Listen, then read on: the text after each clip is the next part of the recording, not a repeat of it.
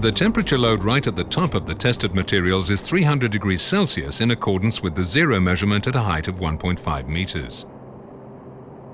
This concerns the first phase of a fire before flashover occurs. At this temperature load, PIR creates a double temperature development in comparison with rock and EPS.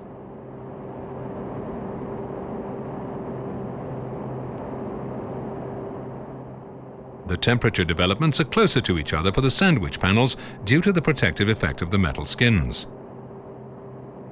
After conclusion of the test, the rock wool sheet is still entirely intact. A large part of the insulation of PIR and EPS has burned away. Rock wool, uncovered or sandwich, barely contributes to smoke development, while PIR does. The steel cladding protects the PIR sandwich from direct contact with flames. Because of this, the temperature load is too low to gasify and ignite the PIR insulation. EPS already melts or burns at a low temperature load. The EPS melts because of the metal skins on the sandwich panels. As long as the EPS is enclosed, the temperature, and thus the smoke development, remain low. The following fire properties of materials are of great importance for proper evaluation of fire propagation risks. Calorific potential, the energy content of the material used, also called the fire load. The capacity released and the speed with which this takes place. The fire reaction speed and the start of secondary fires in places that were not taken into account. The contribution to the temperature development, the chimney effects and ensuing pressure differences as a consequence of the heat produced by the hot, non-combusted flue gases. Fire propagation due to scattering of non-combusted flue gases and burning droplets. Fire propagation due to heat radiation where ignition takes place with no flame contact. The SBI only provides information about fire reaction at a low temperature load of about 300 degrees Celsius at 1.5 meters above the burner in accordance with the zero measurement. The room corner provides information about fire reaction at higher temperature loads up to about 1000 degrees Celsius at 2.4 meters above the burner in accordance with the zero measurement. Thus, the room corner test is a better representation of what actually happens in a fire that's developed. The room corner reference test, EN 14390. In this test setup, the time flashover occurs determines how quickly a product will start contributing to the fire.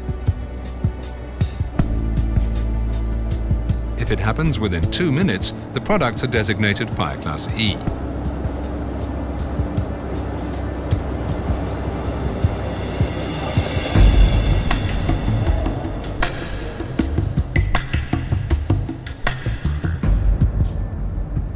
If it happens in the period between 2 and 10 minutes, the product is in Class D. While the capacity growth must also remain below a certain value less than or equal to 7.5 kilowatts per second. At a nearly identical escaping flue gas temperature for PIR and EPS, the radiation levels differ significantly.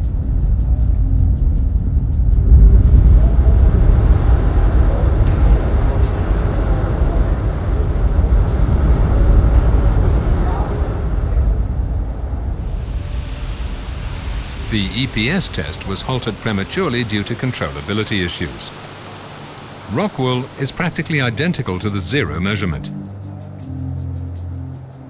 Products that result in flashover after 10 minutes in the second phase of the test using a flame with a capacity of 300 kilowatts make a limited contribution to fire propagation and are designated Fire Class C.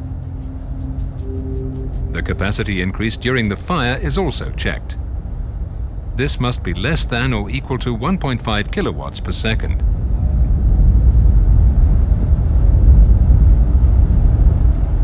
The capacities released for PIR and EPS sandwich panels are substantially higher than those for Rockwool sandwich panels.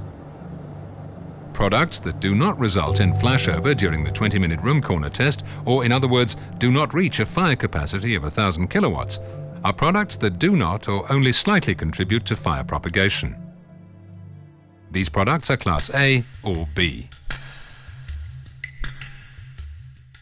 Flashover occurs within 20 minutes in the room corner area for both PIR and EPS, with or without protective steel plating.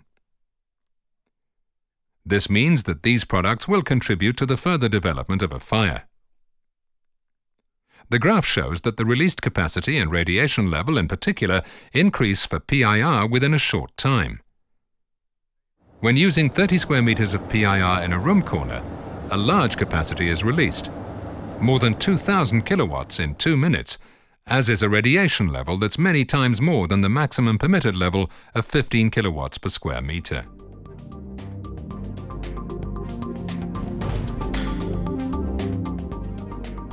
All building products in the EU member states must eventually be provided with CE marking. The CE marking is a type of product label or conformity mark that indicates that the product in question has been tested in accordance with the European specifications. One of the properties stated on the CE marking is the Euroclass for fire reaction.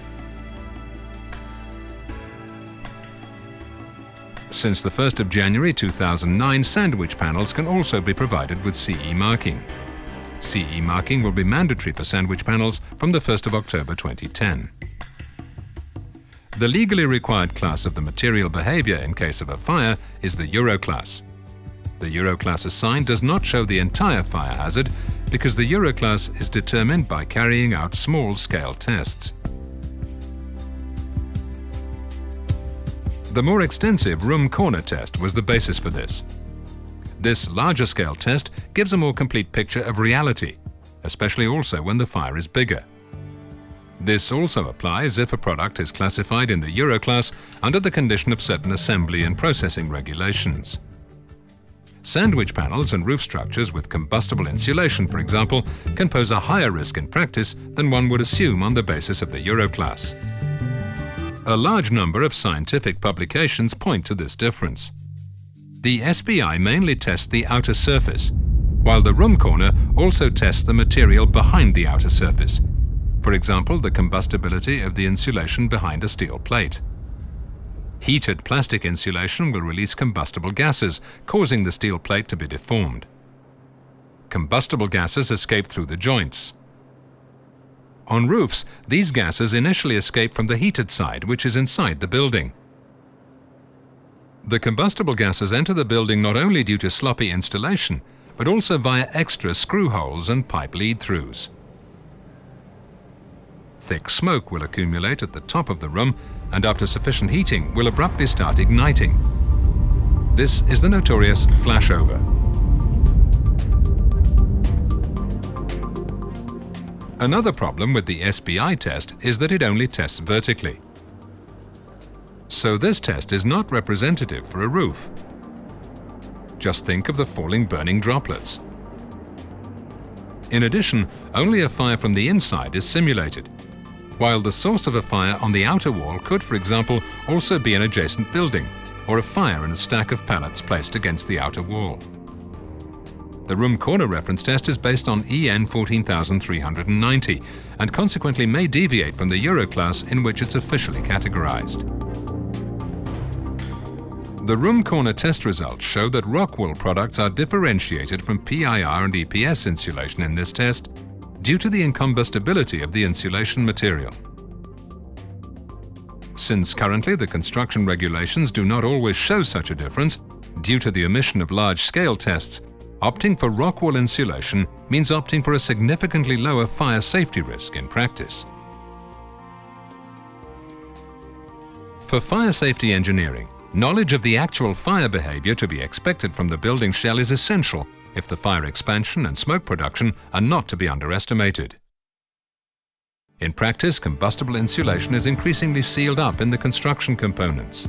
In general, calculation models that are supposed to predict fire development do not take this into account. If this is the case, the use of these combustible insulation materials is irresponsible.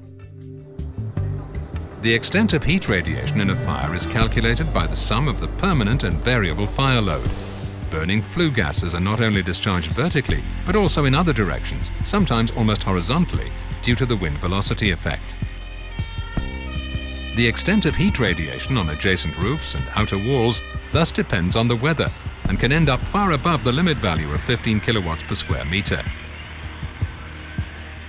Because of this, the surface of roofs and outer walls of adjacent fire compartments and adjacent buildings can start to ignite and plastic insulation materials can burn. Such a fire scenario is described in European Standard EN 1187 Part 3, for instance. Rock wool in exterior walls and roofs stops the heat radiation of a fire in the building, giving the fire brigade more time to prevent the fire from spreading to adjacent compartments and adjacent buildings. A possibly wrong choice of insulation material or other construction materials may have far-reaching consequences in view of the new Housing Act. To wit, the expansion of the Housing Act in 2007 by the principle of care placed a direct additional responsibility on the owner, builder and user of a building for the effect of a building on the safety and health of users and people in the vicinity. In short, the owner must ensure that a building complies with the Building and Use Decree. Acting in violation of the principle of care may even be a criminal offence. Designers, principals and building owners must remain alert when assessing the fire safety of buildings. So choose certainty. Choose Rockwool, made by Rockwool. Fire safety deserves top priority.